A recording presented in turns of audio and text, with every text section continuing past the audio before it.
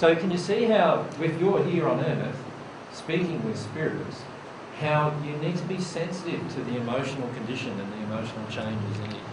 The reason why is because they're so absorbed by their own life, and that like the earth life feels like like childhood or even nursery, and the sixth sphere, sixth sphere feels like adult, right?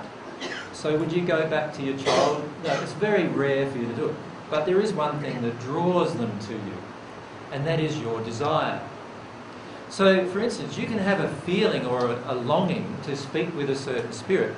That spirit will feel it. A sixth sphere spirit will get a message appear on their inbox, if you like. Does that make sense? And they'll know that you just sent them that message. They'll know where it came from. And whether they respond to you or not will totally depend upon their desire. Now, a divine love spirit will often respond because a divine love spirit is very interested in actually talking to people on earth and helping people on earth progress. So, like uh, James has had, had, a longing, for example, uh, for Gandhi to come. And the instant he had a longing for Gandhi to come, Gandhi popped in. And you had a short discussion with Gandhi. Yeah. And then uh, Gandhi left.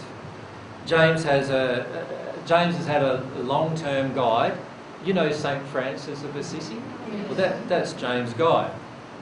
Now, St. Francis doesn't call himself St. Francis anymore, he just calls himself Francis, and he doesn't even call himself that in the spirit world anymore, but it's just for James's uh, benefit. But Francis actually influenced James before he got onto the divine love path to actually go to Italy and visit the locations. And James had these feelings when he was in Assisi, right, which were confirmational feelings from his guide. Right? And this was before James actually went on to the divine love path. So these guides are often constantly influencing you. And it's only when they're a guide, generally, if they're on a natural love or divine love path, that they're surrounding you on earth. Most of the spirits in the spirit world, in the natural love path and the sixth sphere, never visit the earth anymore.